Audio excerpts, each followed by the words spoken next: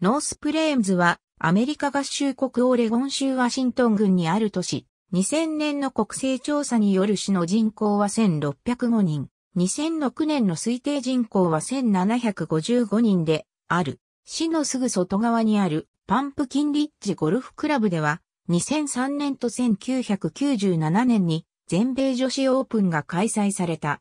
ノースプレーンズは北緯45度35分50秒整形122度59分53秒に位置している。アメリカ合衆国国勢調査局によれば、市の面積は2.0キロ平方メートルで、すべてが陸地である。2000年現在の国勢調査で、この都市は人口1605人、594世帯、及び422家族が暮らしている。人口密度は794.5平方キロメートルである。313.3平方キロメートルの平均的な密度に633件の住宅が建っている。この都市の人種的な構成は、白人90.78%、アフリカンアメリカン0.12%、先住民1.68%、アジア1.87%、太平洋諸島系0.12%、その他の人種2.74%、及び根血2.68%である。人口の7.10%はヒスパニック、またはラテン系である。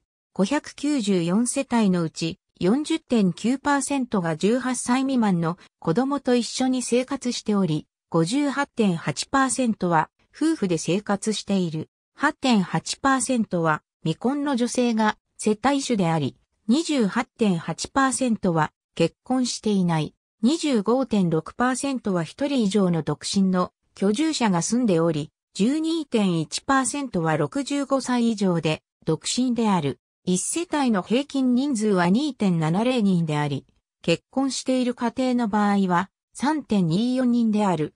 この都市内の住民は30.0%が18歳未満の未成年、18歳以上24歳以下が5.6%、25歳以上44歳以下が35.0%、45歳以上64歳以下が18.8%、及び65歳以上が10.7%に渡っている。中央値年齢は34歳である。女性100人ごとに対して男性は97.7人である。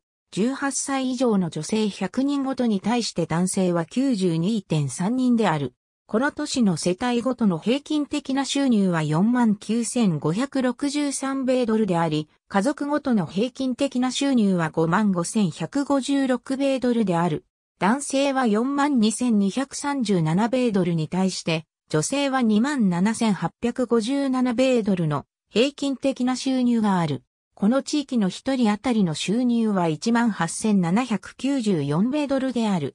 人口の5.3%及び家族の4.8%の収入は貧困線以下である。全人口のうち18歳未満の3.8%、及び65歳以上の15.8%は貧困線以下の生活を送っている。ありがとうございます。